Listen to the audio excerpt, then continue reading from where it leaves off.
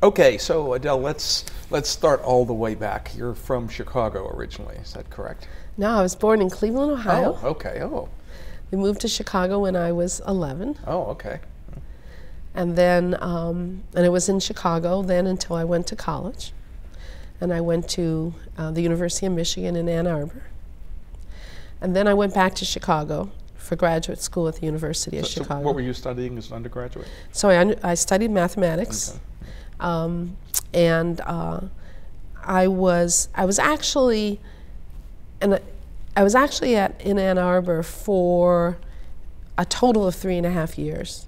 So the first half of my senior year, I was um, I left in the spring to go to Europe. I was accepted at the university in Munich, and um, and and the people who were it wasn't junior year abroad, but the people uh, who were running the program were supposed to arrange housing and didn't. So when I got there, um, I spent a couple weeks looking for housing, and I said, you know, forget it, I'm going to go enjoy Europe. So. Um, I went all over Europe and up to England and up, you know, way north, and ended up in Israel, and then came back to the United States in the fall. And so uh, everywhere I went, there was an IBM building. And I had been pondering what was I going to do with this math degree. Um, because originally I was doing it to teach high school math, which is what my t- mother was trained to do. And, um, and I discovered when um, at the University of Michigan to get a, uh, teaching certificate, you had to do a class, a public speaking class, and I wouldn't do it. It scared me. so, which is amazing, but Changed. I, yeah, well, in those days I didn't think I had anything interesting to talk about. It wasn't until you do something that's interesting to talk about that you can talk. So uh, I never got my certificate. So I was thinking, what was I going to do? And I saw all those IBM buildings, and I thought, wow, I could live anywhere in the world if I could learn to do something that is important to IBM. And uh, I had a cousin who was a statistician for them um, in New York, and he explained a little more. And I had taken already a computer class. Um, in those days, you know, we were punching cards. I remember them Um, well. It wasn't really computers you embraced. But um, I got it in my head that I should get my bachelor's and then go get a master's degree so I'd learn more about computers. And I got a job at Michigan at the Center for Research on Learning and Teaching, working with Karl Zinn, who is one of the pioneers in computer aided instruction. And um, he hired me mostly because in those days I knew how to speak German, and we were teaching German class. And it was an IBM 1500 and very straightforward programming in my mind. And I saw programming as the grandest world for problem solving. You know, it's just perfect for me.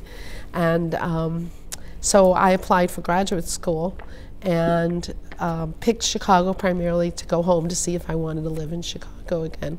So it was sort of this go get your master's degree in, um, and it was 1967.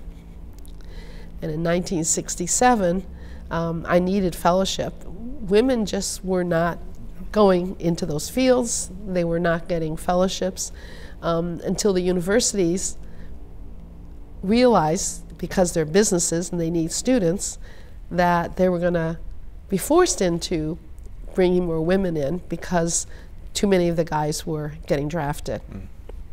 Um, years ago, Thelma Estrin told me that she had the same experience in World War II, that she got this wonderful job at UCLA running a lab there because the guys were all off on the war. And I said, it's too bad it takes a war for us to get in. But, um, but I did very well, and, um, and I was encouraged to take the exams to go on for my PhD. Um, and the only they ask you when you take your exams, well, what are you going to do your PhD in? And what I knew about was educational technology. That's what I learned um, at the end in Michigan, and it was still something interesting to me. And um, Chicago was had mostly Atomic Energy Commission funding. They were building. Um, this was the, the years of Bob Fabry and Maurice Wilkes used to visit, and they were building a machine they called the Magic Engine machine, something like that, capability-based hardware. Um, and they didn't really have funding for educational technology. But one of the faculty, uh, Roman Weil, who's still there in the business school, um, asked Patrick Suppes, who was visiting, whether I could come visit him. Patrick Suppes is the one of the two directors of the Institute for Mathematical Sciences and the Social Studies. Um, that's not right. Mathematical Studies and the Social Sciences, right? Um, and he said, sure. So I uh, was at Chicago for two years, got my master's, um, and packed up to go to Stanford. Um, not as a student, but as a visiting student, mm. still a Chicago student. And um, after the first year, Chicago had accepted a proposal with no strings attached. You could be anywhere, you just had five years to get it done. And Stanford had offered me a research associate mm. position, so I didn't leave California. so much for that, yes. So much for Chicago, yeah. letting one, a student go away. well, the alternative was going back to Chicago and continuing to teach programming, which would have ordinarily teaching programming class would be fun, and we did it in an interesting way. We did it as um, comparative programming. So the one class uh, course I taught when I was there was um, it was um, SNOBOL, um, PL1, and BAL. Oh, okay. So assembly language, and the way we taught it was obviously to teach you how to build the elements of one language in the other, so that in the end you could see what the language was designed for, especially, and then what it meant to um, write a language. Unfortunately, it was 1968, Chicago, and those were not happy years at the university, um, nor in the city, because um, that was the, the year of the Democratic Convention. Um, and it was a big sit in, and my students were sitting in at the ad building, and I learned very early about the politics of universities and trying to protect students from themselves. Because, mm. of course, at University of Chicago, they, they didn't come to class, they were supposed to be flunked. So I negotiated to let them make up the course by a certain date and then they would be okay. Because otherwise, you flunk a class at Chicago, you might as well go home. Mm. Mm. So it was, it was, an interesting, interesting experience. Time, yes. Yeah, it was interesting. And I'm not sure if, if that turned me off from, from working in university. I, I know that when I finished my degree at Stanford, my um, I did teach for a short time, visiting down in Rio de Janeiro, mm -hmm. but um, but I was I, I think it wasn't really a commercial versus university trade-off. It was more. Alan Kay wants me to come play. Oh yeah, sure. Yes. I'm going. So, so, how did how did that hook up happen? Um, so the the IMSSS, the institute, um, had both people working in mathematics and in reading and then uh, Richard Atkinson headed up, who became the chancellor of the University of California. Um, and um, so there were a lot of graduate students doing some very interesting and novel work, but on the big timeshare systems. And Dexter Fletcher was one of them, and he, he said, we need to get involved in the ACM and we need to get involved in the community around us interests. We can't just be at the university. So he and I um, did two things. We went to an ACM meeting down in Anaheim, and we also uh, got involved with more of a local user group that was looking at computer uses for kids. And that, that means you're not so insular. You're not, mm. you've got to find ways not to just be in your own building. And um, because of our community work, I met a number of people who were either going to or were already at PARC. John Shoch mm. was one of them. And, um, and so I think that's how Alan became aware of what we were doing at Stanford. Oh, okay. And we, we were doing, um, besides teaching um, courses, we were also, I built a system in which students could study um, first order predicate logic by essentially inventing their own axiomatic system, which is and just to, so they know how hard it was, mm-hmm. you know. Um, but that's that's a way of programming, and we were also teaching uh, logo of the Seymour Papert mm-hmm, work, mm-hmm. and um, and there was more of an assembly language level language thing was called Slogo that we were working on with kids, just trying to understand different forms of bringing computing into the classroom. So, um, so Alan became aware of um, of our work, and as and and he had come to the conclusion that to understand the software for the Dynabook, you couldn't just start with adults. You're going to have to bootstrap yourself. You're going to have to start with the hmm. kids um, and see if that applied to the adults. Mm. Okay, so that got you over to PARC. When was that done? So that would have been um, the summer of 1973. Okay. So I had been spent most of 1972 in Brazil, and had come back, uh, finished my degree, and, um, and and and went to PARC at that time, and uh, I went to PARC pregnant with my first daughter. and so those bean bags were not as attractive to me as they were to other people. Alan always said the purpose of the bean bag was so that you would sink into the bean bag and it would be hard to jump up and attack somebody when they're giving a talk. Oh, great. which is funny. what he didn't understand is once you sunk in and you were pregnant, you couldn't jump up. Other people had to bring you up. it was pretty funny. Um, and I remember, I remember my uh, folks visiting and taking them there, and they just were tisk tisking, you know, this isn't a workplace, you know, this is a playground. Which it was, Which and that's was. a good thing. That's Okay, so so talk about those first uh, few years then, in terms of what you got to play with. Well, I, I remember when I got there thinking, this is too good to be true. And um, to be given such free license from a large corporation. And by this time, I had spent a couple summers working for IBM, um, you know, while I was in school. And I had a, a very clear sense of large corporations and how they organized and how they ran things. And I didn't see Xerox as any different. So I was impressed with the forward thinking that gave such free hand to so many people, so many smart people. But I also felt that it wasn't going to last because when you start with nothing and you ask for a budget, and with that budget you build something quite novel, it's going to be hard to convince people that you've learned everything there is to learn with that novel piece of hardware and you need to recapitalize. Um, and it, it actually happened faster than I expected. Um, that you started getting more of, of the tension of resource trade-offs. But the first couple years, you didn't feel that way. Um, so Smalltalk 72 had been designed, and the challenge given to me was, do you think children can learn this language? How would you approach it? again in those days the major influence i mean there was influence from what i would call um, the education world so benjamin bloom who i knew at the university of chicago jerome bruners uh, was, was somebody um, whose work and approach to curriculum uh, was very admired but the biggest influence was um, seymour papert and his group and they didn't believe in curriculum. They believed that if you uh, gave somebody a toy that intrigued them, they would learn something from it.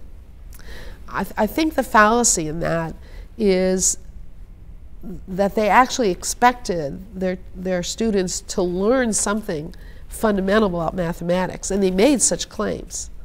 But there wasn't, if they were successful, it would have been by the power of personality. And that doesn't transfer. If you're going to have broader impact in the school systems, you're going to have to give be- better guidelines and you're going to have to tie what you're doing to expectation. More so now with accountability rules than back then, but still, you had the question was always in front of you what will the kids learn if they do this? Um, and, and since in the early 70s, programming uh, little calculators were just in the schools. You know, computers were not something everybody had their hands on. You couldn't argue the importance of just learning about what a computer is. You had it had a tie to other curriculums. So my challenge was to balance the um, exploratory. What we would call more of an inquiry approach, which is how we think about it at the San Francisco Exploratorium, where I'm, where I'm involved, with um, at least a curriculum guideline and um, and and as it turned out, we were quite successful. Not so much because um, I had a genius idea or anything, but because the nature of the language gave us the answer, which is if I give you something that you can play with and extend, even a piece of paper with a paragraph and I say it's not written well, rewrite it. That's easier than giving you nothing and say make something, you know, including a blank sheet of paper and starting to write. So the the lovely part that has proven true for professional programmers as well as kids is when you start with something, an, an object that does something, and then you could put many objects like those together and have them interact or and then extend and make them behave a little differently, you can take a very incremental approach to learning how to control a computer system. Um, and we took a systems approach. It wasn't just lines and lines and lines of code the way many projects teaching programming in BASIC uh, found themselves. You, you really were mapping to their natural understanding of what were the actors in, in the application they were trying to build. So, so, so now some of that early work, I assume, was done on Altos. Where, where did the the Dynabook, whole Dynabook idea come from, and and talk some more about when you thought that would happen, and uh, you know what you wanted that to be. So, so clearly, um, I went to Xerox to join Alan Kay's dream. Um, having spent years and years doing educational work on timeshare systems, having spent many years uh, working with the computers and tutoring in public schools, including here in East Palo Alto, the Ravenswood School District. Um, I was not comfortable with this when you're going to learn, you go to a place to learn. What I believed is is that you have to bring your tools of learning with you wherever you are. Obviously, that starts with your brain, but if computers were going to be successful in changing how we learn, and we were going to deal with lifetime learning, then they had to be with you. And in walks this wonderful man with this cardboard mock-up of a carry it with you computer which didn't look so strange. You can put a calculator down, but in the schools, you know, calculators were tethered. They were locked to the desk, mm, mm. right? You didn't take them home. You didn't carry them with you. They cost too much money. Um, but we could see where it was heading eventually. And um, so when I first learned about the Dynabook dream, it just mapped exactly into what was bothering me about the timeshare work. Um, Alan had done work in his PhD dissertation at the University of Utah, of course, on the flex machine. So he had been at it for many, many years trying to figure out how to create um, what I call this computation and communication multimedia um, device and had been mocking up a whole series of them over the years. I think there was one called the Kitty Comp. Um, where the comp was a K. Um, so, but when I stepped in, he'd already had this Dynabook mock-up.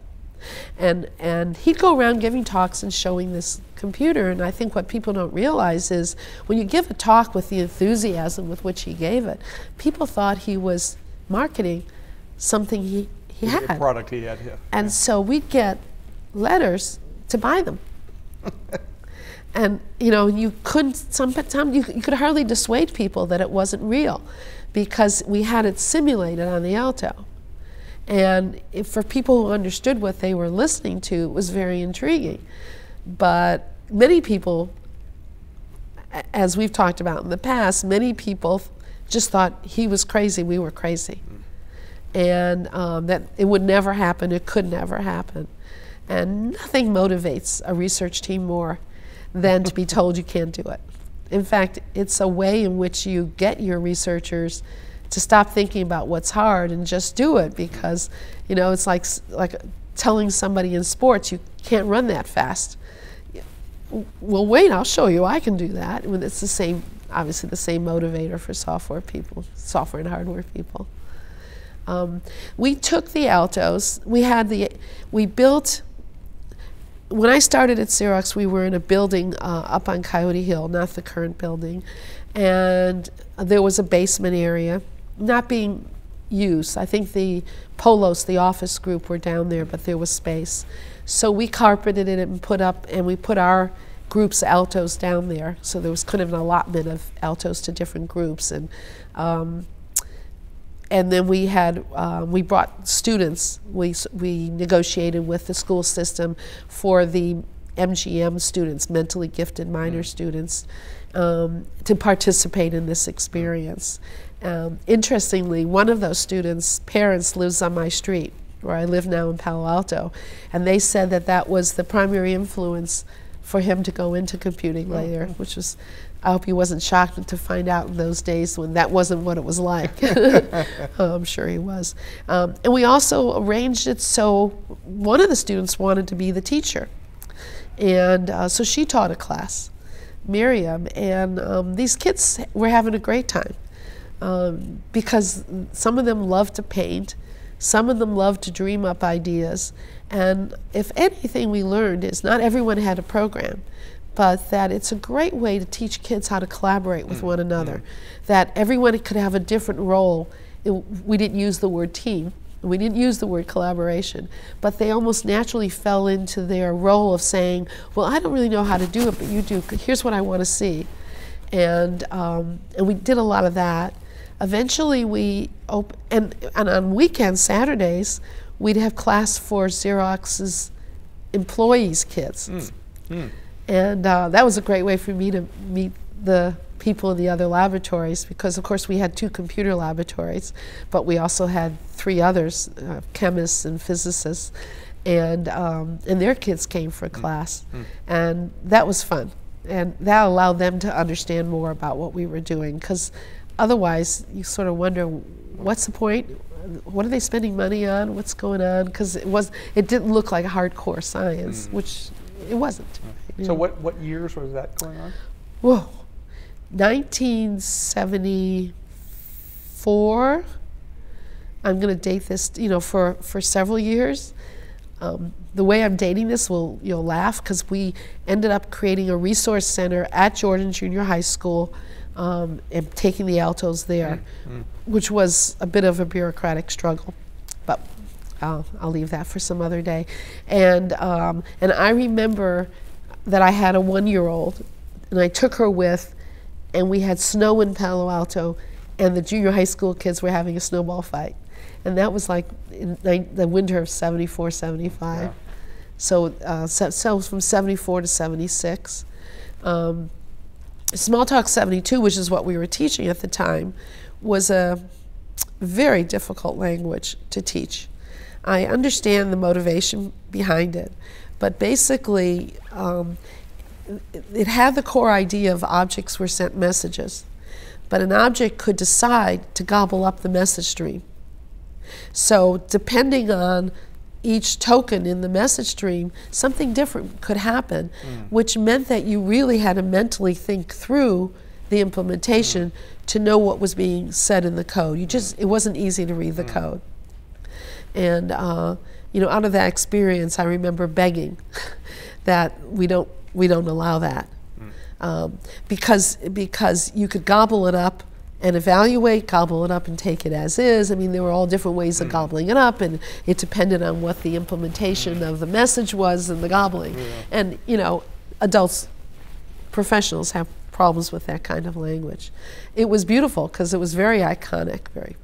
And there was a lot of research going on at the time on iconic programming. David Canfield Smith's mm. Pygmalion was done. was one of the first uh, languages for for just expressing what you want to have happen with imagery. Um, not not good solutions to the complexity of no screen space, however. Mm, yeah, so right.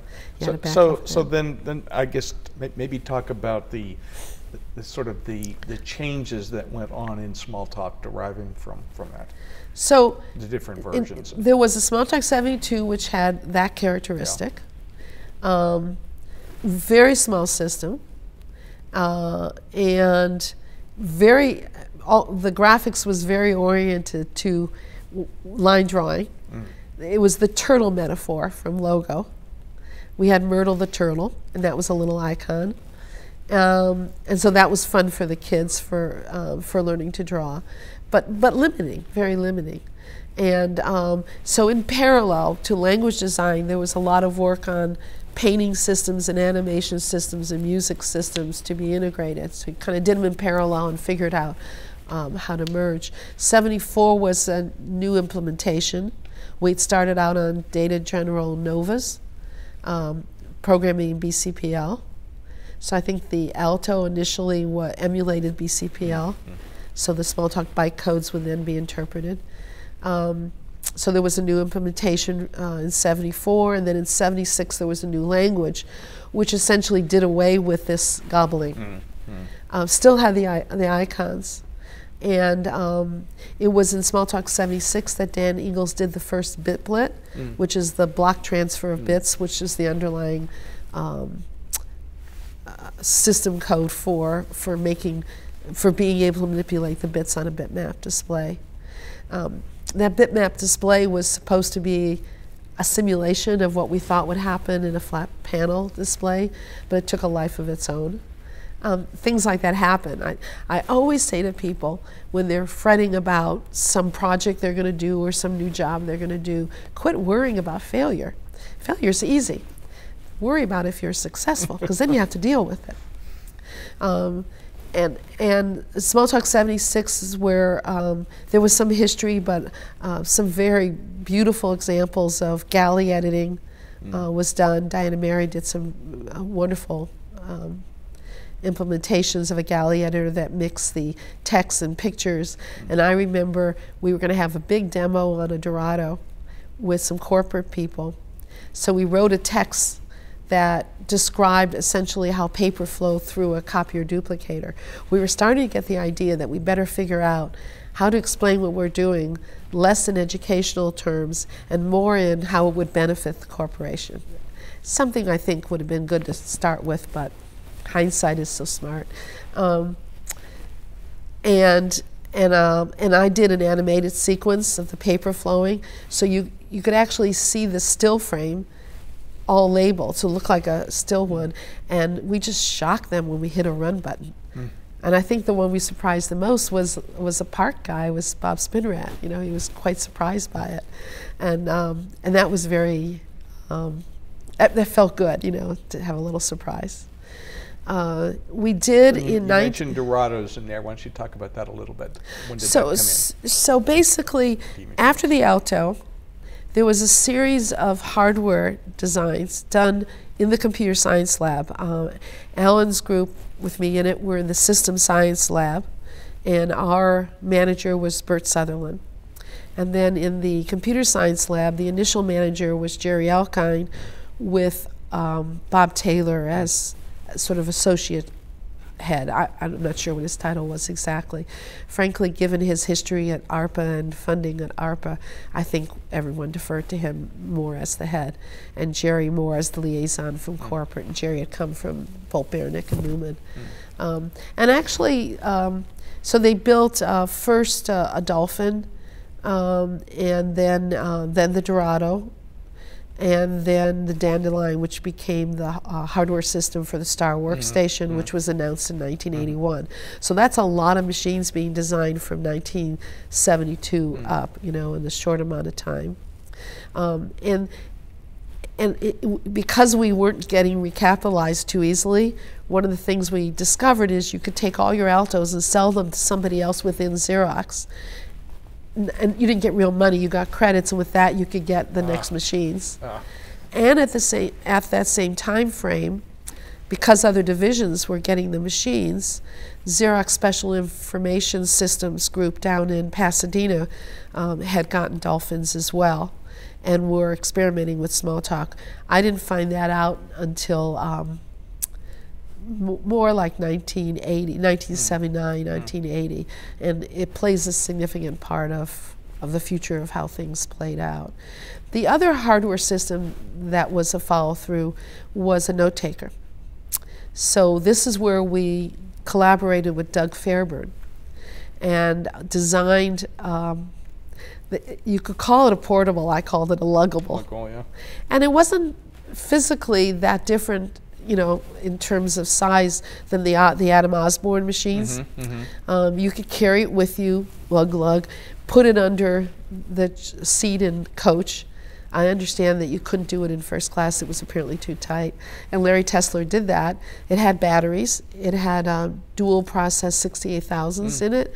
Uh, one of them managing the bitmap display what we were trying to do was move closer and closer to the Dynabook Dynabook, idea, yeah. while the other machines were getting bigger and bigger. I mean, a Dorado, you needed a Forget that, yeah. air conditioning for that Yeah. Echo machine, and uh, and I remember um, in 1977. Uh, in 1976, the Smalltalk system uh, really pushed more to have a, uh class hierarchy. So objects were described in terms of a class of objects, then you created instances of the class. Um, those were the really the active objects. But we were aiming towards a system that, that was everything was an object, which meant a class would be an object too, and you could send messages to it. Um, so that was the that would be um, mostly information and act, actions shared across all instances, and um, so there would be a class hierarchy where you would say, "Oh, I'm I'm a I'm a traveling vehicle just like that one, except I'm different in this following way, and I can be different in how I implement something, or I can have more properties and, and understand other things. And you can imagine, you know, the typical business example would be there are accounts, there are bank accounts, but there are special bank accounts, right? Um, so we had this whole thing laid out, and it was very compelling because it fit right into the curriculum ideas for how to teach kids. Give them a starting point and really help them learn how to how to refine it.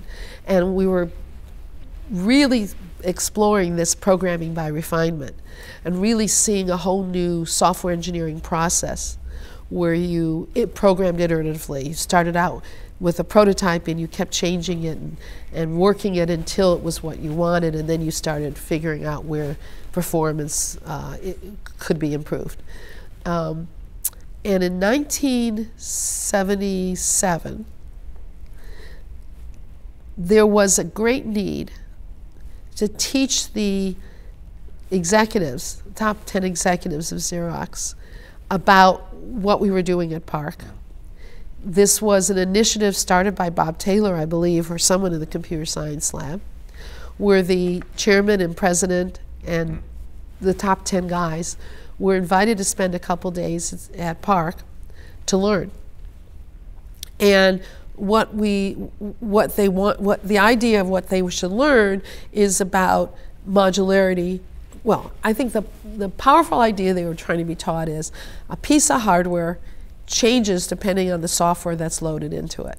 It's a very obvious idea today but not in those days. Um, the combination hardware software that was the package that was the product. Um, and, and instead of saying we built this general purpose piece of hardware and it could be whatever you whatever you want it to be. And they had not been very successful i think in um, getting enthusiasm for text editing the the chairman at the time, McColough, Peter McColough, had come to PARC for a big demo of the Bravo text mm-hmm, editor that mm-hmm. Charles Simonyi had done. And when Bob Flegal, who worked for me, saw saw McColough the next week at corporate because he was there for some social service project, and he said, "Well, what did you think?" And McColough said, "I don't think I've ever seen any. I've seen a man type so fast." He missed the point, and and and this this particular problem went on and on and on, where mm-hmm. where we didn't know enough about how how our customers, internal customers, thought, and they didn't have a particular mission for us that they could grab their questions around.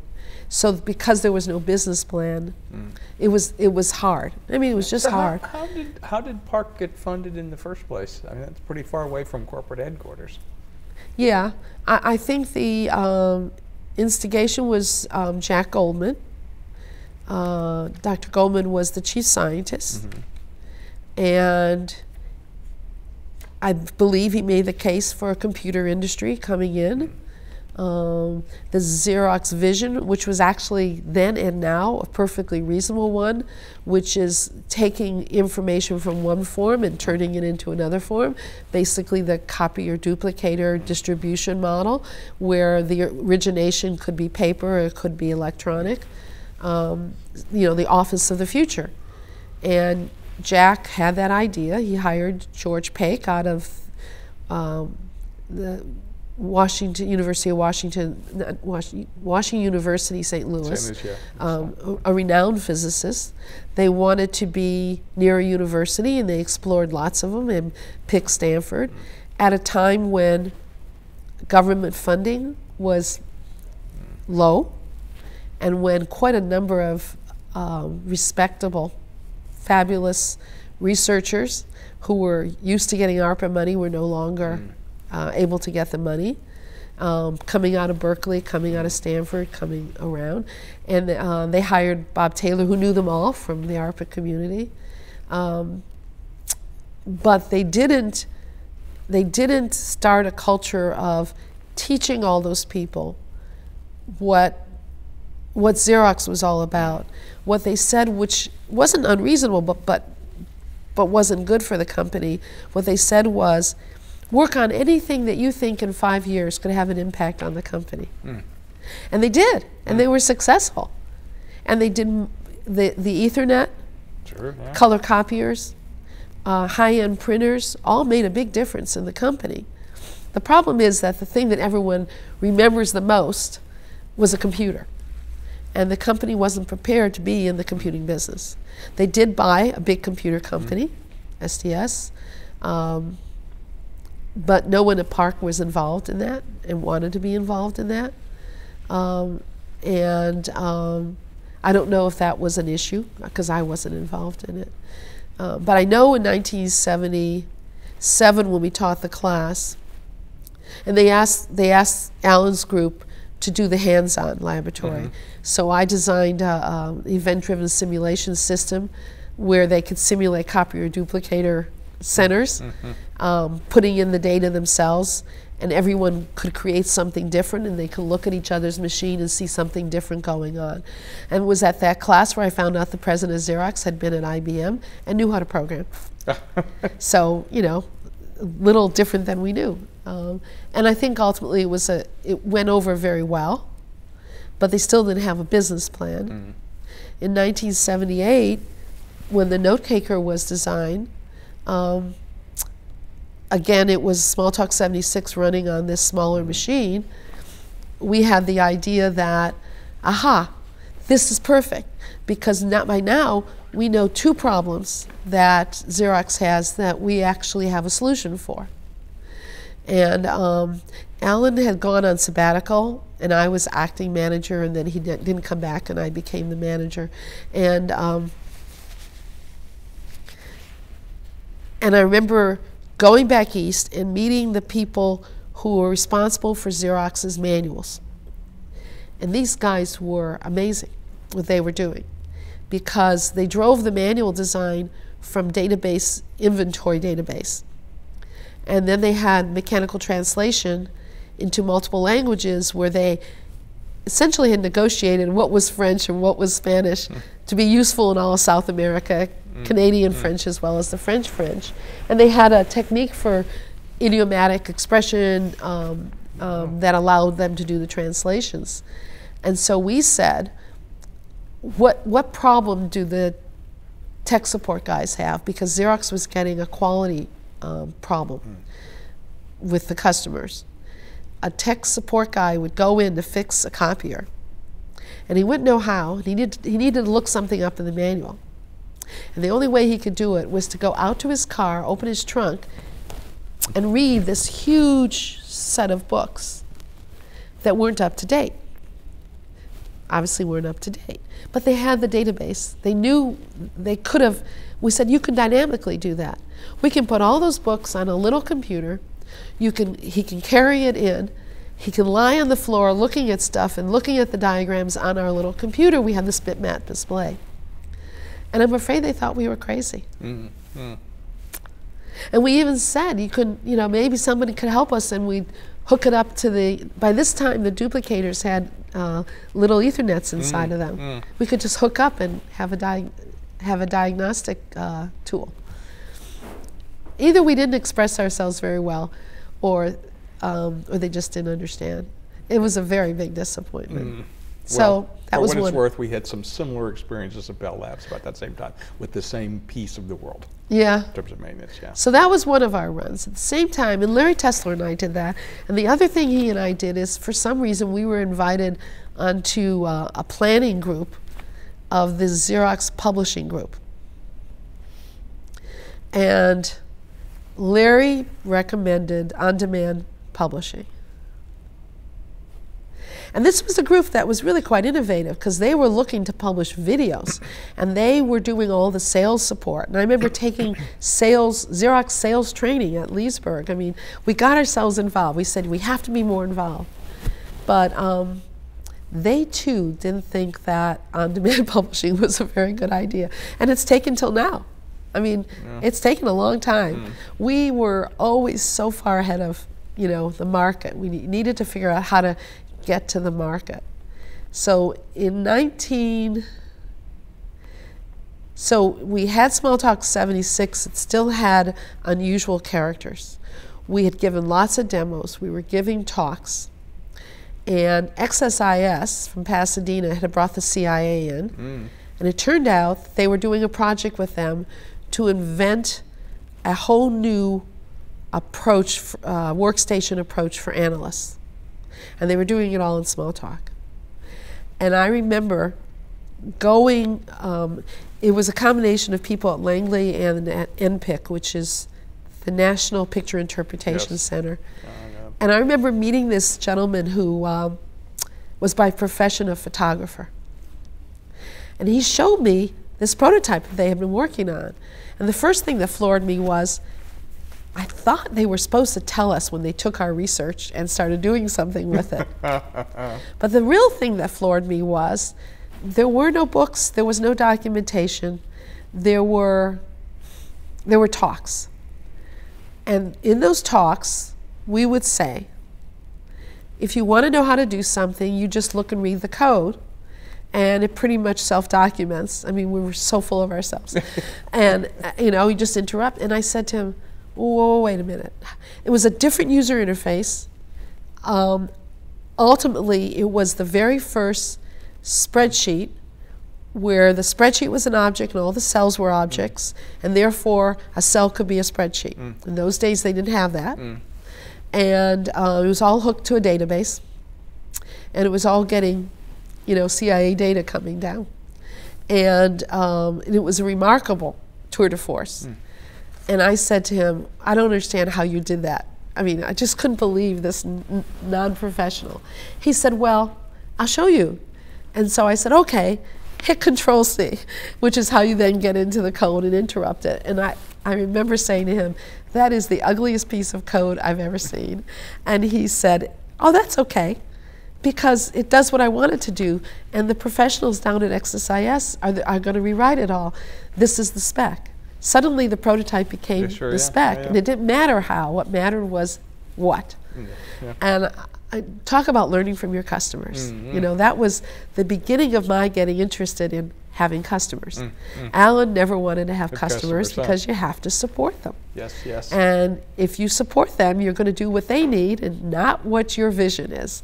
I'm sure to this day he is livid angry with me um, because I marched down a software engineering row, row and got customers. But we were we weren't stuck. We just needed more ideas. We needed more yeah. participants. And then, uh, so, so then that's about the time, Smalltalk 80 time, right? yeah, but Smalltalk, yes, it was almost Smalltalk 80 time. It was time for the next language. And the question was um, how, far, how far would we push the uniformity? I wanted to do more on non proprietary Xerox processors. I wanted to understand if you're going to have a language of this type, did you need special hardware? There was actually an assumption that you did. Um, and I just didn't feel that we would learn that unless we brought in outside computers. This is also the time of the Sun um, Microsystems startup. Yeah, sure. huh. So Andy had done the work at Stanford. In fact, I was one of the earliest purchasers, and I got the money by selling off all of our machines, all of our, you know, Xerox machines. And I know, I mean, I wasn't a pariah, but I know, because Bill Spencer, who by this time was in charge of PARC, would come and tell me, they're, they're, uh, they're breathing down my neck again about my letting you buy those machines. I said, but you know the answer. We, we can't just let the world go by us. We need to understand. Mm. Uh, and we need to know if the software we're doing will run on these and run well on these machines, or whether we need to do special processors. And at the same time, the uh, Smalltalk on a RISC machine, this Spark was being done. Stuff, yeah. It was Dave Patterson and Dave yeah, sure. Ungar at um, Berkeley was going on. So um, I got it into my head that we should do the next round of Smalltalk in a participatory manner, more like what, what you'd all know as open source. Mm. Smalltalk in, in the flavor of the code was always there is open source in that regard, but, um, but it wasn't being built by a community. Sure, yeah. yeah. And uh, Bert Sutherland was my manager, and I said, I don't want us to do all this work without permission because I think this time we need to publish everything. Mm. Um, Alan had his hand slapped when, in the early 70s, um, help me with the name, uh, who did the Whole Earth catalog? Oh, Stewart Brand. When Stewart Brand came into PARC, and um, there was a book, Cybernetics 2, half of it was about the, um, the, the, secret company, mm-hmm. and he had pictures of PARC and the, and so there had been publicity that had, yes, hadn't been properly signed off on. And so there had been a bit of a, you don't get to publish for a while, period. And, um, and I think Alan took it too seriously. Mm, mm. You know, he didn't like having his hand slapped. But um, I, we did start publishing again more in, in the 76 time frame. Uh, including the personal dynamic media paper that uh, Alan and I mm, did mm, yeah. for I for the computer software I, IEEE. But um, I wanted to go to corporate and ask for permission. And um, it was a little risky because you didn't know what would come back. There's no reason for them to say yes. Um, lucky for me, between the time I suggested it and actually asking, um, Xerox's venture group had bought a lot of equity in a little fledgling computer company that wasn't doing very well called Apple Computer. Oh. And um, and they had arranged for um, the Apple executives and then later the Lisa programming team to come for a visit. And I kind of parlay that into, well, you're willing to give, give it away, you're not interested. And I wrote this motivator about why we should be able to publish it all. And because we were planning to write a book. Mm -hmm, mm -hmm. And we were planning to have this community implementation um, event. And um, I think it went to one of the principal at the venture group, who then asked Jeff Rulifson his opinion. Jeff was on some special leave from PARC to corporate, and he wrote the, oh, sure, publish all this. So I had it on paper. Uh, uh, uh safe. And, uh, and so then with Bert's help, we enlisted Tektronix, Hewlett Packard, DEC, and Apple, but not Intel wanted to do it. But the rule was you must have an internal software team mm. that works with your hardware team because the question we were asking wasn't do you like the language? The question we were asking is is there anything about hardware that would make for a better perform make for better performance? And then we worked with um, the folks at Berkeley and with Elliot Moss at UMass and Ralph Johnson at Illinois. But basically, the initial release then went out and um, we ended up with a spec for the implementation of what was Smalltalk 80. Mm. So, of course, we were forced into uh, straight standard ASCII because not everyone was going to have uh, control over their fonts who could sure. have now they would, but back then they didn't, so that we could have all these special characters.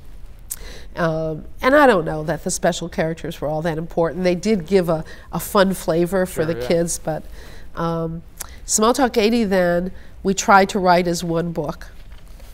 And it, with the whole team, and that didn't work.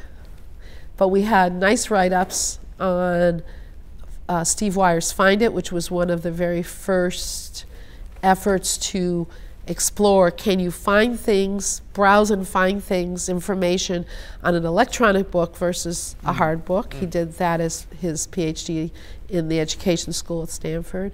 Um, we had all the work going on with constraint based programming, ThingLab, and Al Borning's thesis. Um, and we had uh, later the alter- alternate reality kit. We were still still doing these educational systems. Laura Gould and Bill Finzer, Finzer were doing the uh, rehearsal world, mm. where if you want to understand what an object did, you had a stage and you rehearsed the mm. objects and, mm. and and through the rehearsal essentially evolved yourself to the programming. Um, constantly looking to see where the language wasn't strong enough, where just adding objects to the library wasn't going to be strong enough because you'd have these trap doors into C programming or lower level programming. Um, and we tried to write, I think, too much. And um, finally, what we decided to do was that Dave Robson and I would write and we would split it up into three books, four books, four books. Three came out. Three came out. A language book that Dave and I would do, a user interface book that no one wanted to do, so I did, because um, it was more like a user manual. Um, a book on implementation, the experience of all the everybody else. So that was edited by Glenn Krasner, and then there was going to be an applications level book, which was basically the model view controller um, metaphor. And uh, and in order to get the language book done, we kind of organized ourselves so that Dan Ingalls and I would make this. We'd, we'd have an aspect of the system we need to agree on, like what would be the collection classes? How would you how would you provide collections? And um, I had run a group at PARC that did APL, and I was fascinated by it. So we actually had a lot of the APL stuff in it as a result. But um, we'd go to the group, we'd have this plan, we'd have a big debate, and then if you thought you weren't heard, you went to Dave as the ombudsman, and he'd listen. And if he thought you had value, he'd come to me and Dan and he'd say, "Listen, you guys, you were screwing up. You didn't, you didn't listen." It was a very interesting organizational mm-hmm. dynamics because Dave never came to us. So at some point, I said, "This is going too well. Nobody's complaining. This is a group that has opinions. Not a lot of them, but they have opinions. Are you? What's going on? Are you not telling us?" He said, "No, no one comes to him." I said, "Why not?" He says, "Because they know they'll never get through me. The goal is to get done." So this is like a very different model than our previous history, where where um, uh, it was a sm- it was a smaller effort. This was a much bigger effort, and uh, and it got us involved with the world in in a really fun really fun way. Um, and I think when the book the book came out in 1983, that's how long it took. Yes, It took a long time and um, both as a seminal book in object oriented language, the structure of the book, which um, I really feel good about the quality of that, the, the fun doing the artwork, Oh, yeah, sure, uh, yeah. which was great fun. Bob Flegal and I did the artwork, you know. And I, I realize now when you're a uh, you want to be an artist, but you'll never be an artist. But it's your book, and you It's get your to book, do you it. do what you want, You do what you want. Um, you could you get to do that. Um, when it came out, I think it took a lot of people by surprise. And I think one of the reasons why we managed to do it was that Xerox had built the new building, um, which has, you know, it's like a three layer building Yeah, yeah. with pods, and there, are th- there were three of them, and they were going to add a fourth. And, and they asked John Seeley Brown's group to go to a different building. They essentially were pushing him out. And I went and looked to see where they were pushing him to, and I thought, well, this is a great building. Who wants to hang around in all that noise? So I said, can I go too? And, um, and I was advised not to do that. It was politically not good. But it meant we had quiet, we were left alone, and, um, and we could get it done. Plus, at lunchtime, we had a little band, and we, we didn't play very well, but there was no one there, you know, to complain. so we got to play music. And, um, and we, so we were able to get it done. And of course, that was life changing for me. Um, when we got it done, um, we had a language now that other people were going to use. Other people had opinions Mm-hmm, about. You know, eventually it went to standards work. Eventually, because it was commercialized, um, and but it was a great time to say, okay, we've plateaued. We've been trying to solve this problem about personal computing. We made a contribution that wasn't the problem we were trying to solve, and um, and we turned to ask questions about the interpersonal computing. And that was when I asked, um, could we build, when, by this time I was a research laboratory manager, and I asked, could I build the rest of the lab up in Portland, Oregon? Because by this time we knew all these people Oh, sure, all around. all yeah, around who were already enmeshed in the culture. Um, and so we built the very first 24 hour, essentially virtual lab with video conferencing, which, um, which spurred the CSCW work uh, in collaborative systems, which has still intrigued me still to this day. I mean, those problems aren't solved yet either, type stuff. But it was, it was the transition. And then um, by 1986, we had the CIA as such an important customer. Xerox was not going to do anything to commercialize. They were de- they wanted to deploy. We had done implementations on 68,000 base machines. We had a 68,000 base plugin to Xerox personal computers um, that the guys down in the Dallas Development Center had done, and um, and they weren't going to service it. And I just thought, you can't do this. You can't do this to a research group. Yeah, right. You, you have to transfer it or not. So we asked, um, is somebody going to do something with this? And if not, here's a business proposal for a spin out. Now, I'm going to make it sound very simple because it took 13 months of negotiation. but um, at that point, we decided, a small group of us decided to spin out a mm. separate company, and that's how ParcPlace Systems mm. came about. Mm. With the deal, I mean, we had a business plan where the CIA would be less than 10% of our business, and we were always able to maintain Oh, that. okay. And nobody, nobody but me ever had clearances, so it met everybody's needs because the government wanted commercial off the shelf. Sure, So it was perfect. You Yeah, know, yeah. there wasn't a problem there. And they went to, we started OOPSLA in 1986 in the ACM. You know, I was president. Yeah, of you were- ACM. I was going to ask you about that. You should talk to them about the ACM involvement at some point there. Yeah, and um, and so they the CIA would come to the trade show and show everything they were doing. It was it was not black, which you know people felt pretty good yeah, about. yeah, yeah. Um, and this is how I learned: never think about what you're going to do in terms of, God, what will happen if we fail? Failure is easy. The problem is if you succeed. What have you What have you, You may brought have on to yourself? support it. Yes. Yeah. well, you, well, but you have a big deal. You know, we we built a large company around the world and a big community of companies around the world, and that's a lot. That's a lot to take on. Yeah. I, I mean, some of the folks who did some of the original Unix work had some of the same issues because um, they loved to see their stuff get used, but they didn't really want to be in the, the uh, uh, game of supporting it. Yes. Okay. And see, I think, I think that's not possible. I think that products are successful when um, when there's passion around the product, when you've done something that you're interested in, you care about, and to to just say somebody else should do it.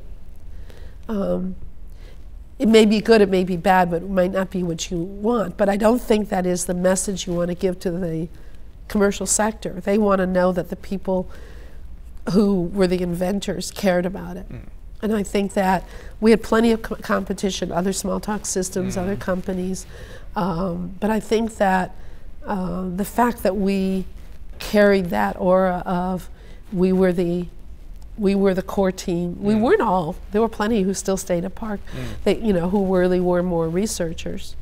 Um, but we were a core team of people who, who they could trust the ideas in. And when you're doing libraries, and this was true in the Unix world too, when you're doing libraries that people depend on, um, they have to believe in you to have oh yeah, taste. sure. Yeah, yeah. And um, you know, and and of course there were very few people from the research team who joined up. It's just that the Dallas Development Center guys moved to Palo Alto.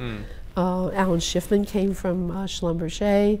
Uh, we had 25 people in the company before we had finished the negotiation for exit because the president of Xerox said, yes, you can do this, get started. Yes. So, so now had there been previous spin-offs, or th- there were certainly things that, in effect, became spin-offs, but not real. I mean, I'm thinking of Postscript. There know. was no previous spinoff and there was no subsequent Oh, my. spinoff.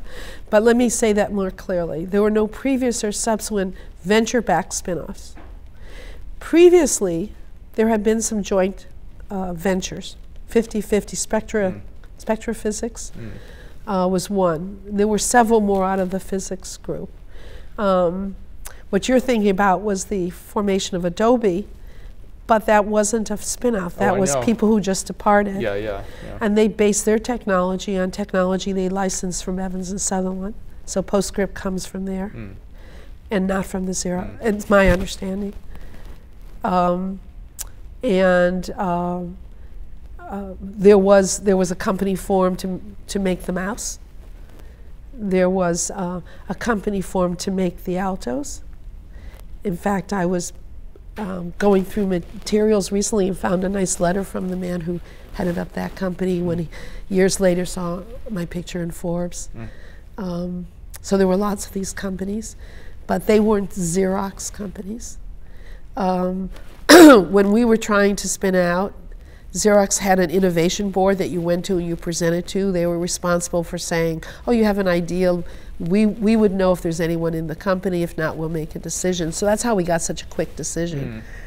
Um, and we negotiated for that time period, uh, kind of the cost to Xerox, so that translated into equity that the venture group had. Oh. But um, after us, they the venture the Xerox venture group essentially was solely funded from Xerox, and they were told no more. Mm. What whatever they made, they can reinvest, but they wasn't they weren't going to do any more. Mm, mm. They had um, they had funded things like Shugart that Xerox then bought, mm-hmm. and that was kind of a trade between Apple and Shugart, I think. I'm not 100% sure. Um, after that, there were a bunch of companies that you would say, well, those are spinouts. So, um, is my understanding, every one of them, Xerox retained an 80% ownership in. So, um, there was a whiteboarding company. There was a virtual rooms company that uh, eventually I think Microsoft bought. Um, and there were some f- ones that didn't make it. Um, I guess the whiteboard company didn't make it either, although it's a great idea. And there are other companies that do it. And, uh, but those were not what I would call venture backed. yeah. The employees didn't have enough equity for this valley to, to, To- keep them to make it, yeah, interested. yeah. No, it wouldn't work. So we actually left Xerox in, um, I know the exact date, it would be March 18th, 1988. It was the day we signed all the papers with everybody. And it was also complicated because the Fuji Xerox in Japan had rights to any commercialization. So they became our partner in Japan. And uh, the reason I know the dates is I know the date that Apple sued Hewlett Packard and Microsoft. That was March 17th, Oh, was St. Patrick's Day. and I had a board member, old friend of yours, Ben Wegbreit, who said had said to me, Adele, when we finally exit, um, I think it's important that we have an article in the Washington Post. And I said, but Ben, those are always little pictures of little birds and stuff, you know. He said, no, I, you should have your picture in there. And, uh, and he got his wish because there was an article about the lawsuit and how Xerox Oh, had yes, just spun. yes, it was yes. just a very coincidental situation, but he got his wish for his little article. It's very funny. You know, you never know. you please people you don't even know. You never know, yeah. Yeah. Okay, so, all right, well, so that was certainly a shift to running a company. Talk about that experience, because that's different than hanging out, having a good time in a research lab. Yeah, and with some hindsight, it may have not been the best thing to have done. I mean, no, I'm just teasing. Um, so I had a number of options in the early 80s. Um, um, I had been the editor and I gotten myself involved in ACM, and I had been on the special interest group governing board. And that came about because when I was at Stanford, one of my Stanford colleagues had encouraged getting involved with ACM as an obligation. So I started out more with the, the special interest group on computer uses in education. I went to a meeting, the chairman of the SIG board. Um, I met him. He and he was local here in Palo Alto, and he asked me for lunch and asked me if I'd come on the board. And I said, I bet you you don't have any women on your board. And he said, That would be correct. And I said, You're asking me because you want a woman on your board. And he said, That would be correct. And I said, I'm going to say yes because you were honest. And, uh, and it was great fun because I met a lot of people in different mm, mm. fields and you got to learn more about all the computer science specialties that you don't, unless you go out, you don't always get right. to touch all That's that. Right. Yeah. And um, and Addison Wesley, there was they a lot of them had written books with Addison Wesley, and he, they used to take them all out to dinner and and wine and dine. So I'd be invited, and I'd say, you know, I'm not one of your authors, I don't have to come. But then when we went and did the books, I knew the uh, I knew the publishers, and they had it in. They were mm. smart. Mm. Um, in '82, I became the national secretary. Oh no! So in '79, I became the editor in chief of Computing Surveys. Surveys yeah and off of the SIG board because I went onto the publications board. So I learned a lot about computer science, academic politics, mm. reconfirming um, how much more fun it was at PARC. Mm. Um, there's just so much more to being a professor than teaching a class and doing your research. And, um, and then I um, did that till 82, became the national secretary when the president was David Brandin, he had been the chairman of the SIG hmm. board. Mm. And then I um, became president at a time when ACM was having financial issues mm. where what they were budgeting to spend was in excess of the revenue coming in. And for some reason, they didn't understand that's easy, you just don't spend it. but um, they needed to relook at their finances. And it's funny because I was the second female president. Before me was Jean Sammet. A decade before, she coped with exactly the same problem. She came in really to, to worry about cleaning up. And I don't know why. Um, you know, why other people didn't do it or it's coincidental, mm. right? Um, but we had brought a new executive director in and we, we did some organizational changes. So I got some, vol- I learned what happens when you have a lot of people working for you who you can't fire because they're volunteers. Yeah, right, right. Yeah. what you really have to do is figure out how to engage them in good projects, how to get rid of projects that really were not going anywhere. Um, and um, you know how to leverage that positive. So I was getting some very good organizational mm. learning. Um, I'd had some other offers, start a research center for one of the computer companies, um, and I felt like the book was just coming out. I was president. That was enough. And, and we and I had this new lab when we were going to build the sure. Portland lab. That was a handful. You know, I had kids at home. That was a lot. And um, but I think that ending up in business was not something I gave, you know, gave deep thought to. Mm-hmm. It was like I knew we had something important that was that met the goal of empowering people. That we didn't understand enough about what this did to empower people, and we really needed to learn. And the only way was to just get out there commercially. And what was kind of nice, because I was ACM president in down years, was uh, a bunch of the guys who were part of this implementation. Glenn Krasner, who, who became vice president of engineering at ParcPlace, but was an uh, engineering manager at PARC, and uh, and people from Tektronix and people from other companies, they had lunch one day working on the implementation and said, we should start a conference. And so Glenn came to me and said, We want to start this conference. And I said, Well, we have a little problem.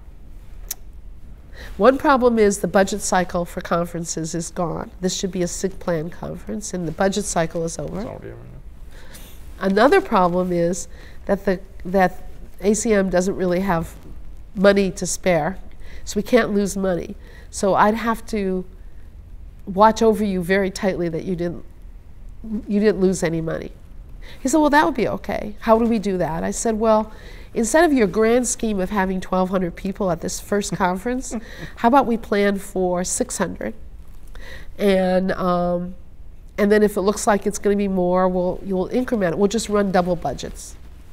So they they agreed to do that, and I said, well, the president has a little slush fund, so I can do this as an ACM, not a not a SIG conference, as long as you agree that the next year it becomes a SIG conference if the SIGs, SIGPLAN and SIGSOFT wanted to take it, which of course they did, because there were 1,200.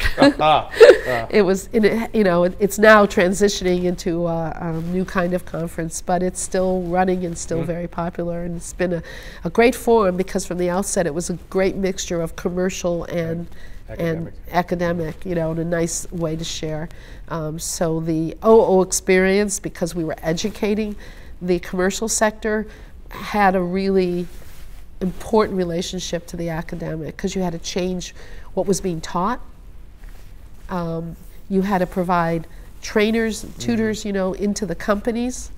Um, we were targeting COBOL programmers because they were the right ones. They understood the sure. business, Yeah, yeah, yeah, right. and we had to convince the companies to retrain them. And that was it, was actually pretty straightforward in this country, but in Asia it was really an exercise. Mm-hmm. Um, you know, you know, to do that, I I remember giving lots of talks on that topic alone. Um, so the conference was was good.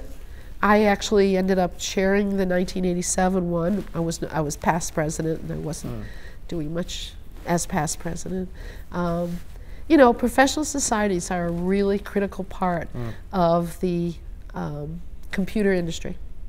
Whether it's IEEE, uh, Computer Society, or ACM, it- whether it's standards work or these conferences, yeah. these forums for communication, um, it's all the journals. And I was lucky, I got to taste all of that. So it taught me some things, but it didn't teach me how to deal with venture capitalists. It did, you know, raising the money, that was hard. That was a whole new thing. Um, I was fortunate to have a good mentor in um, uh, a gentleman in the Xerox Venture Group who basically believed in what we were doing. Unfortunately, after the f- we started the business, and a year later he he died suddenly. So I, I think for me that was a bit of a loss because um, he was one of the few people I felt pretty. Uh, pretty able to talk through all the politics with because he was kind of fascinated with the whole thing anyways and um, you know, in the end, people ask me, well, was it because you were a woman? Was it harder? And I go, no, no, I don't think so. I think it's just as hard for the guys. Um, but I think they laugh it off faster. So you just have to realize that the, the, the ridiculous questions you sometimes get asked, not always, but sometimes get asked, as in, what kind of car do you drive? and as you well know, thank goodness I was driving a eight-cylinder black T-top Mustang at the time. Uh, was the right answer because it was fast. it was powerful, and somehow or other that was the psychology they were looking for. I mean, it was kind of funny. Or they'd ask, "What were the conversations you had at the dinner table?" And I said, Thanks to my father, I know everything there is to know about the Teamsters Union from management's perspective, but it's not the same as what they were expecting. You know, I mean, they just they were trying to figure out what you knew, uh, type stuff. But um, but it's hard work to have a company. It's day in day out, Yes. and it's it's a lot. And I think I could have. I had a little easier time of it in the in the uh, 80s and 90s if I hadn't done that. But at the same time, I learned an awful lot. So, so, so talk some more then about how that, how ParcPlace progressed and what sort of customers you found and, uh, you know, what challenges you had then. Because that is, that is a big shift, right, from, from, you know, a, a research, comfy research lab to, to running the company.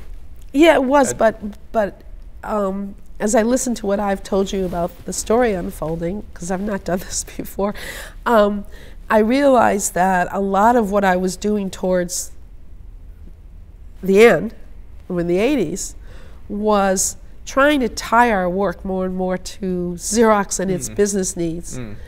And and first and foremost, that's what you have to do. You have a product, you're trying Sure, to yeah, sell it. yeah. You need to understand your customer's business and be able to uh, understand their problems and be able to explain how your problem solves their problem. And um, So it's I- going in that direction, clearly. yeah. right. And I and um, Jim Davis, who was the initial sales guy at Sun, was a uh, uh, is a friend of mine, and he he um, he had said something uh, that really sort of changed my whole marketing aspect, because what what I thought was powerful, what I think is powerful about object technology, is the extensibility, the flexibility of change, and the ability to predict what's affected by the change. So the entire reuse model, where you can essentially firewall and understand what has to be retested, gives you some assurance um, and some predictability in making changes to large systems. And building systems that can change, whether they're for educational reasons or big financial, you know, insurance companies and investment bankers, banks, uh, Wall Street, a lot of our customers, um, manufacturing operations, car companies, Chrysler, BMW, Mercedes. Um, regardless, they all have that as an issue. And um, but what Jim said to me was, that won't work. And it's not working. And I said, why not? He said, their problem is they can't get the systems done in the first place. So they're not worrying about maintenance, they can't get to maintenance. So we had to switch, because it's a two phase problem, yeah, yeah. to rapid development. And, and that really builds on your libraries. Mm-hmm. As I watched in horror as our marketing people started counting the number of class definitions in our library and selling to quantity, which turned out to matter. But, Yeah, yeah, sure. Th- thud factor. Yeah. but if you just want quantity, you could build your libraries with quantity. That, that wasn't the point, you know. But understandability. Cells. Yeah, yeah. But remember, these are the years where people were just learning to do graphical interfaces. Yeah. Hmm. And um, so as you watch and see what people do, we had two big issues the back end and the front end. So you have this system, now you need to make it easy to construct the front end. And we had a good metaphor, a good set of objects for doing that. And so we turn to graphical programming, graphical construction kits to c- create your graphics. And that's when uh, the product, which was called ObjectWorks, which I remember hating when I first heard it and realizing now that Doug Pollock, who was the marketing sales guy at the time, was a genius. I mean, it's really a good name. Um, but they called it VisualWorks because it allowed you to create the, the and that boom, we took off. Because you made the front end easy. The back end problem was database hookup. In research, we we worried about database, but we worried more about um, object objects finding objects. Um, an object-oriented database in fact Bob Flegal worked a lot on that. And um, but we didn't try to commercialize that. There were other companies that were doing commercial right. object-oriented databases. But if you're going to sell into legacy worlds, the thing they put the most design behind, the thing that the aspect of their systems that is the most critical is the design of their SQL um, tables. And I know that from the last um, decade of work that I've done, which has mostly been dealing with exactly that problem. And we were fortunate that we had a, a vendor who sold the kit for hooking things up. And there were several, but we hadn't done that work our, ourselves. Um, there was some ugly fighting going on too. You think you were in the kindergarten, not even uh, not even in college. The fights between the structured programming methodologists and the object-oriented methodologists. Um, I finally realized that the structured guys thought we'd be putting them out of business, and that was one of the reasons for the unbelievable emotions, emo- terrible emotions. That was one. The other fight was, especially in the government sector, uh, I had somebody from one of the um, government contractors tell me I was awful, I was ruining their business. And I said, let me see if I can characterize your business for you. We were down in Florida, we were in the, um, in the behind the scenes at Disney World where there are conference sites. And we were in the hallway, and this guy says this to me, and I said, Here's what I think your business is. I think you pitch to the government a four year project with 400 people that you know that you'll be able to fund for four years, and you underbid it, and you have to get more money, but they're four years in, so they give you the fifth and the sixth. That's your business. He said, That would be correct. I said, Then I'm going to ruin your business. Mm. And he came into the meeting arguing that you can't use an object-oriented approach because it means you're reusing. And if you're reusing, um, you're not meeting their requirement, this is intelligence community, to compartmentalize, mm. where just the names of the objects were part of the secret. Oh boy. And fortunately, the man in charge, uh, one of the group chiefs said, well, we're just not going to do that anymore, or we're alias it but we're going to reuse. We can't afford this any longer. Yeah, yeah. Um, so, I mean, those are the kinds of things you learn about. Is you know when you have a customer issue going on, but um, the analyst workstation was a very important application. Spreadsheets and text editors that were being done. Um, one of the Wall Street guys built a whole framework for in which you could design financial instruments um, I know from those two cases alone, because I used to go, they're spending millions between software and training and uh, consultants helping them build. Um, I sure hope this is worth it to them. And every one of them told me 10 minutes deployment, and they got back 10 times. Mm. Mm. You know, that was For part sure. of, you talk about learning, you know, millions mean nothing when what you're playing with is, is really a lot more. You know, what, what's at stake is a lot more. And some of it's qualitative. There was a conference on the West Coast that Steve Jobs gave a talk at. And um, he was pitching object technology and reuse. And it was funny because I had been behind the scenes, excruciatingly, painfully teaching the uh, magazine guys like Business Week what, what the good examples were and what objects, because I couldn't afford to have, even though the article wasn't about us, I could not afford to have it be wrong. Yeah, right. right. And um, so Steve got up and he says, um, well, you wouldn't take an existing system, like you wouldn't take your existing payroll system and rewrite it all. I mean, that makes no sense. It's going forward with new things. Then he gave his usual good fun talk. The next speaker was one of our customers from Chrysler. And he got up and he said, We are rewriting our payroll system. and the reason? Inflexibility. Basically, you can watch the uh, Chrysler as probably one of many examples having a bad relationship with the unions because the unions would make what on some perspective were perfectly reasonable requests in terms of compensation mm. changes. And Chrysler would want to say yes, but they knew they couldn't do it because they couldn't implement it. Couldn't, yeah, they couldn't implement it. So what they wanted was to be able to say yes to the unions mm. by having a flexible, mm. extensible mm. system. It was one of the best examples mm. I had ever heard. Mm. And that's what I meant by finding out what your stuff is good for, yeah, right? Yeah, Let your yeah. customers tell you, you know, type stuff. Um, so we were all learning. So in a sense, it was still a learning environment. I think that's what sustained me, you know, through all that. Um, after VisualWorks, then we took off enough, four quarters of profitability, and we went public. Mm. Um, I'd hired somebody else to run the company. He and I didn't get along very well, um, so I left. Oh, then we merged with um, with one of our competitors, with mm. Digitalk, and I could see the company was not was going in a direction that wasn't going to be fun for me.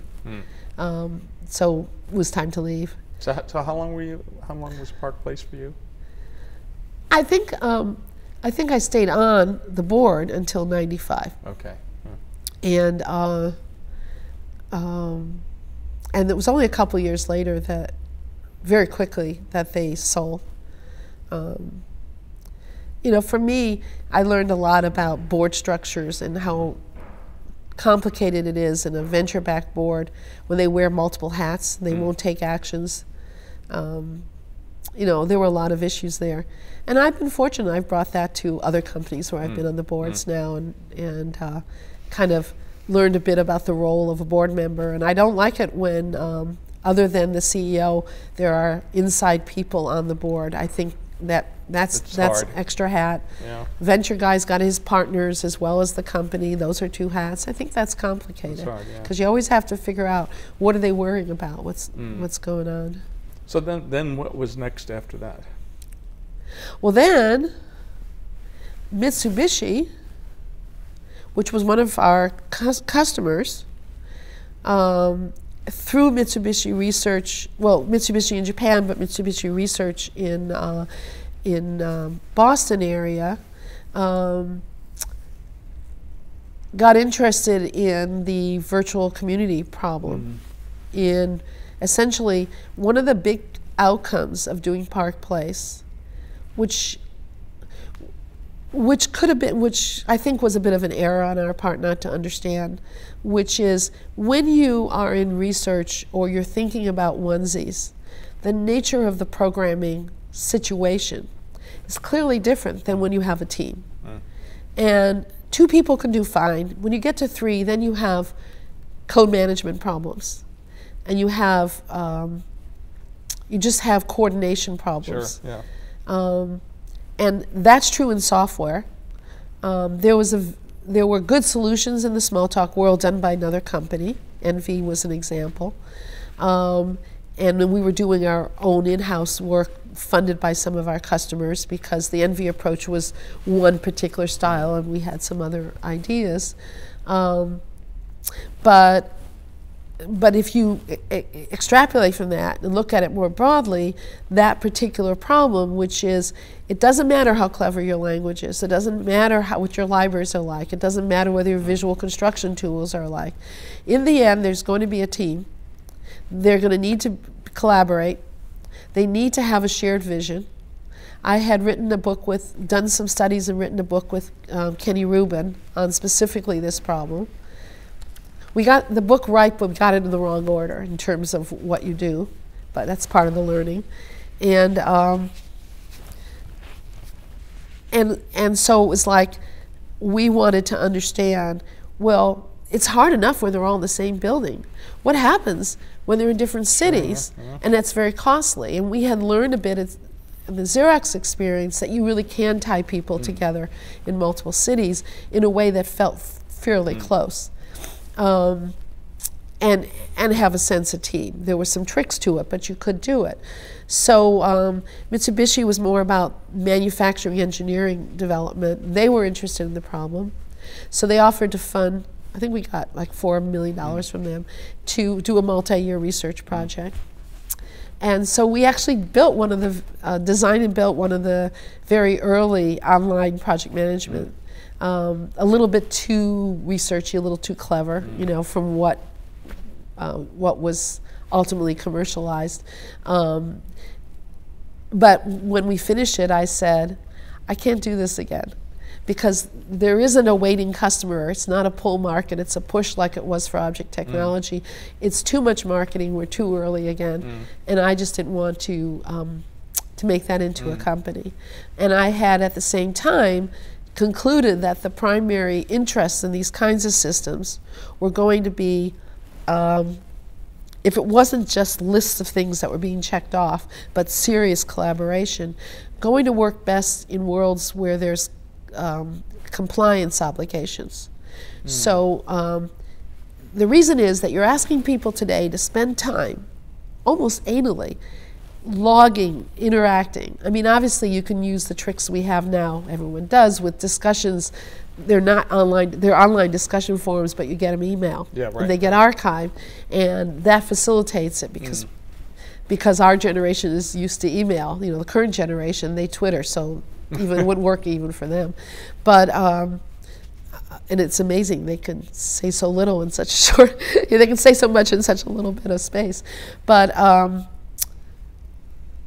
I, I, um, I just didn't want to push that up, and the compliance systems were more waste management and pharmaceuticals. And I had met uh, somebody in the pharmaceutical who started teaching me about it. So I've actually, for the last decade, been working with that same person um, and ended up uh, working with a private equity fund in drug development, building some of the uh, initial systems, learning. It's, it's like a new career, learning all about how drugs are developed, and that, and I'm enjoying that. Cool. Uh, anything we haven't covered that should have been? Because you've done a lot of different stuff. Um, well, you know, I suppose if you were Alan Kay sitting there, you would be shaking your finger and said, "What happened to your interest in education?" Um, and um, so I, I've tried a couple things. I got involved with a company that was doing mostly CDs, um, very high quality, and um, and it didn't make it. It was um, it was like too late Too late for. CDs and too early for the online or something like that. And, but the same, but the um, executives there started, got funded for, and started a new company um, to do online. And I understood that what they were trying to do was build community amongst teachers, and I was interested in that. So um, I was their initial CTO development manager, and ended up being there for four years, um, building, uh, becoming a Python programmer, Oh, Zope yeah, programmer. Okay, that was the Python. thing. That was the That's okay. Python, and it's just as lovely. You know, I was really very happy with the system. Um, I had you have to get your head around it, but once you do, um, you know, you, you can build a lot fast. And I swear it was we we had very little time, counted months, less than a year, to build an authoring environment using XML. Um, which got pre-processed to generate the HTML. I use Smalltalk for that, and then a, uh, a learning deployment system, and um, spent a lot of time, mostly in Texas, in the schools down there, and um, but in the end, what we didn't really do teacher community. The politics, I kept being told the t- the politics don't allow it. The, there were a lot of those reasons, and I don't. I'm not convinced. The New York Times has a new project in this area, and they seem to be going after what I'd hoped for. Now, a number of years have passed since, um, but we ended up doing more um, electronic books online, and I think they they're effective as classroom aids to the teachers, but they're really not for the kids, and they're not for the teachers to help one another. Um, so after four years, um, it was stable enough. I left because it was they needed to rebuild everything. Um, so it, so I moved on from that, um, and then you know I started thinking about what else would you do and how would you do it, you know. And I looked at the uh, one laptop per child activities, and I talked to Alan, but um, I haven't found the right thing in education to go back to. I've talked with a number of people where the problem I think I've mentioned to you before is I can't get my head around a curriculum that says you're you're a kindergartner. What should you do with computing that would lead you by high school to be an able to use computers effectively as a thinking partner? The way we know about uh, how to how to um, how to order our our reading and our math introductions. Um, I've spent some time on it, but I, I don't think I have a a good solution yet. I'd like to because I have grandkids and I'd Oh, like yes, to get so, them. yes. I'd like to get them started, Mm, mm. but um, haven't haven't figured that out yet. So I mostly sit on Skype with my six-year-old granddaughter and I give her word problems rather than just you know I give her three plus two, um, but it's more fun to just say to give her candy that, and divide the candy amongst her friends, and that she likes better. so it's fun. Okay, so let's let's start with tell us a little bit about doing systems research in the 70s at PARC. What was that like? So, to talk about 70s at PARC, I have to back up a bit and just note what had I done before that. So, I had been working in more traditional um, systems building on an IBM 360 or an IBM 704 at the University of Chicago. We were actually building our own machine. Very traditional, time-shared, multi-user type environments. Um, and then I went to Stanford, and we were building um, applications that assisted children in learning math, mostly math. I was involved in teaching elementary level and college level symbolic logic. Again, PDP 10, big timeshare system, had to work at night all night long because the kids were on during the day. Obviously, the dream at Xerox PARC and the reason I went there was to give more ownership of systems to the users. And we were interested both in kids and as well as adults. So the idea that um, there was all the power that machine was going to go to one person and you could think about it that way rather than spending all your time being practical about time and space changed everything just your whole approach to what you were doing secondly I was used to funded projects, mostly NSF fun funded projects. When you do funded projects, you've done a lot of it beforehand, and you have to get it done, you have to get it done under the grant, and you have to get more done so you can get your next grant. And so you're always watching what are you going to publish, what grant. And Xerox was such a gift. You know, you had, we, we estimated you had about five years of real exploration, real prototyping, really do something, learn from it, throw it away, and start over again. And so that was really very special, very different from university or, or um, mostly university experience that I'd had before that. So, so you of course are a software person, not a hardware person Correct. particularly. Uh, so, but tell us a little bit about the Alto and when that came and what that meant for you folks. So by the time I got to Xerox PARC, there was um, there was an, a first Alto but if I recall, the display screen was covered with cardboard. It really wasn't a finished product in any sense. Um, and we thought of it as an interim Dynabook. So obviously I went to Xerox to work on the Dynabook project where we miscalculated. We thought we had about five years of hardware development before everyone would carry high-powered computers powerful as the PDP-10 wherever they went. And so, of course, we underestimated the power of what you'd have, and we certainly underestimated the timing. Um, and we, so we viewed it as primarily a software problem. And we treated the Alto as a, an environment in which to explore what that handheld computer would be all about. We had only a few of them and, and they were built, designed and built um, in the computer science lab with Butler Lampson, Chuck Thacker in the lead. Obviously, Alan Kay was very involved in specking out, and I think in providing some of the funding. But, um, and my responsibility was really at the user level. What are people going to do with the Dynabook? In that case, what were they going to do with the Alto?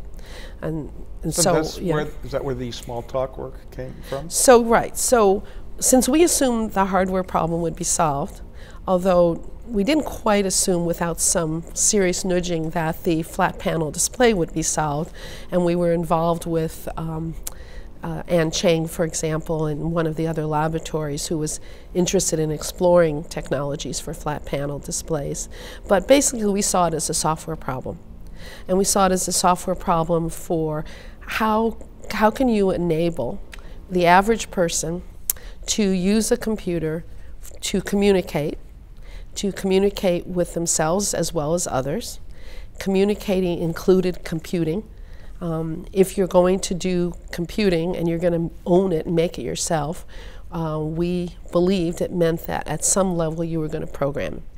So it came down to coming up with a software idea um, and a software approach that allowed you to program at all levels of the machine, and that what the professional programmers, systems programmers did could be exposed at some point to those who were more interested in what they were doing than what they were programming. So you wanted some uniformity at all levels. And so when we say Smalltalk, we mean the language of the Dynabook, um, and it had many, many iterations through the years. The very first Smalltalk in 1971. Uh, when I got to Xerox, the Smalltalk 72 was already started because uh, I got there in 1973. And every two years, we did, every two every four years a new implementation, and then the alternative two years um, we did a new um, a new language, simulated a new language on that implementation. So there were many many versions of Smalltalk until 19, 1980, at which point we we felt that we needed to share what we were doing with the world a at a little larger and get some help with what was turning out to be a very hard problem. Well, so this is all old stuff for you, um, but um, I, as I recall, some some interesting new things really got going in that environment in terms of user interface. You know, it's it's really interesting because so much of what was done, we almost took for granted that there was no other way, and I think um, at some point you get so in the middle of your what you're doing, what your research is, that you forget it isn't what everybody else is doing. Uh, I had been on graphical displays on a uh, on an IMLAC display on the PDP-10 and an IBM 1500. We had done graphical uh, interactive systems, but not with the flexibility of a bitmap display. So amongst the things that I think were very innovative was um, not just that we did it, but how we did overlapping windows. And so the problem being solved is no matter how big the display is, it's too small. How, how can you make it bigger? And the second problem is no matter how much you try to make the system uniform, consistent, simple to use, um, you're going if you're programming, you're going to have to find out how to do things. So the entire user interface metaphor was about search, and that's where the browsers came from which is you know searching for code, searching for relationships amongst um, the parts of the code. Smalltalk is an object-oriented system, so code is organized in terms of objects that own their own data, and you have to ask the objects what to do by sending them a message. So a lot of the uh, query interface uh, was was very much about who's doing what, who knows how to do what, who can I send this message to to get something to happen. Um, another thing we did I think was fascinating was a running system as it's running, you can interrupt it and say, who's doing that? Now, I say who when I really mean what. I mean what object in the system is doing that. But it allows you, when you know nothing about the system and how it's really put together, it allows you to see things that you're interested in and be able to find out how it was put together. And the third thing that I think was innovative was the approach we took to multimedia. Um, if you're going to communicate, you're going to communicate with text, you're going to communicate with static pictures, there's going to be animation, um, there's going to be executable code, and they're not going to be independent. They're going to be very well integrated. And one of the loveliest um, inventions, which I think comes first from Larry Tesler and followed on by Diana Merry, was to be able to have a document showing all aspects of that those different kinds of media, and it's by touching it, an editor would come up and you could change it in place, rather than taking the approach of opening an application, copying things in, making the change. So it was, it was a smoother way of interacting with the system. So, so a lot of folks have used the term WIMP. Or, uh, uh, did you folks ever actually use that for window icon uh, mouse pointers? We didn't talk. We, we didn't talk that way. No. Okay. I mean, I. I you just did it. You didn't talk that way. Yeah. yeah. I mean, we were obviously doing that, and we were doing it um, with music. We were doing it with animation.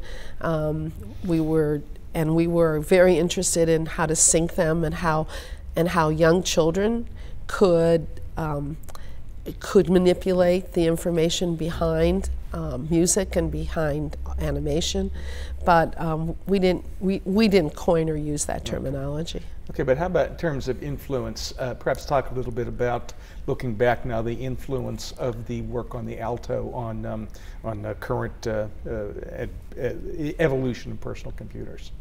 Um, so there's a hardware influence and there's a software influence. And the software obviously is programming language as well as applications. Um, I'll start with the hardware. Um, if you look at the chronology of, of hardware that was built from the very first Alto, and Xerox was very public about what it did. We had visitors all the time. Sometimes we didn't even realize a person was a visitor because they were escorted by some other Xerox employee. And, and, um, and I don't always know the rules on how people entered the building. Um, but clearly there was an influence um, into Carnegie Mellon and into the PERQ computer that came out later. Uh, our own work influenced Tektronix when the 4400 came out. Um, they even put a Smalltalk system in their oscilloscope, which is an interesting idea in terms of embedded systems. Um, and, and of course there's the infamous argument about who was stealing what from whom in terms of Microsoft and Apple. Um, Apple, from a hardware point of view, um, clearly along that chronology, you see the Lisa and you see the Mac.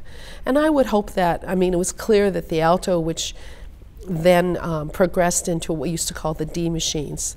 So the um, the Dolphin, the Dorado, and the Dandelion, which were all the Dandelion was a commercial machine out of the Xerox Systems Group. Um, they were obviously um, flowing from the ancestor of, of the Alto itself, with the same people involved in, in the design. So I think that's that's the hardware one. It was it was the granddaddy of powerful individual workstation that um, I used to say to the students, the, the, kids I taught, mostly junior high school, who'd come in to PARC for our resource center, and we eventually took Altos to Jordan Junior High School um, to see what the kids could do with the combination.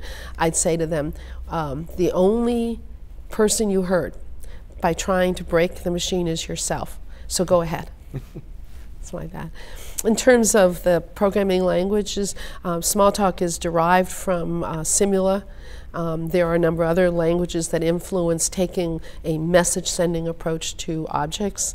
But, um, and, then, and then obviously Smalltalk um, as a programming environment in terms of how you program, not just the the syntax or semantics of the language influenced um, the interfaces to Lisp and to Mesa. I, I, would believe that that would that be considered accurate. Um, and um, and then there was Objective C and C++ and and uh, Python and a number of other um, mod modular Pascal. You know that that we all learned from Simula and derived down.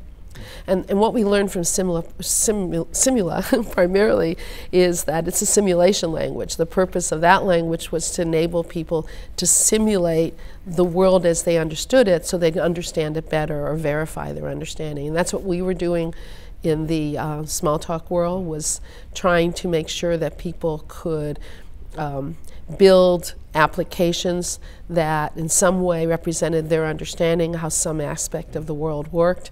And that was a big part of the commercialization of Smalltalk which was for businesses to simulate their business process and be able to step in and, and assist in those processes so I've, I've been using some words and um, including Smalltalk and objects and message sending that um, perhaps aren't broadly um, known. Most, most computer programmers today now know what they are, but certainly in the 70s and in the 80s when we commercialized the language, a big part of what we had to do was educate.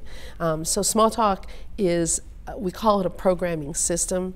It's a language, and the language, all languages evolve over the years, but they mostly evolve now because there are libraries that you can use.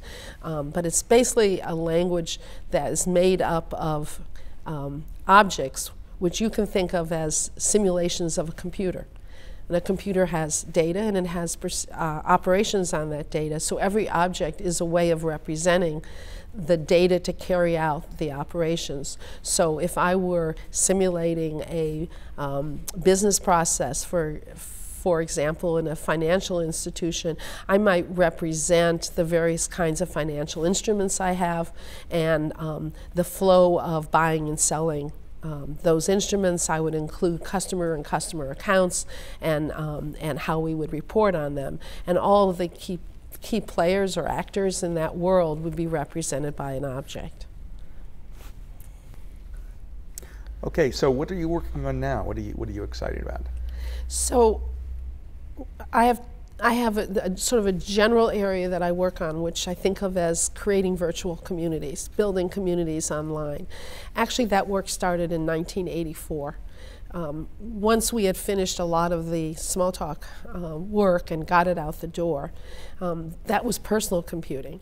And we started realizing that the problem we'd actually posed for ourselves was interpersonal. Mm-hmm. How do people communicate with one another? How do they um, share their interests? How do they help uh, coordinate with one another when you're working remotely?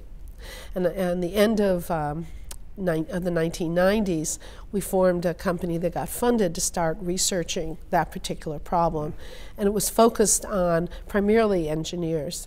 But it's evolved now so that the two large projects I'm currently working on um, have to do with helping international researchers find one another and collaborate um, over a distance, share their resources, hold their conversations. Um, and the other area, which is I think the one that is the most exciting, is in drug development. I work with a group of people who are very interested in how you can run a virtual company, a small virtual company that takes early stage assets molecules and um, takes them through the preclinical stage to proof of concept. And trying to do that where you only have 20 people but you have 20 or 25 drugs mm. means that technology must enable mm. you. So, so then that sort of leads to the next one is what do, you, what do you think the next big challenge is for the computing industry and computing in general?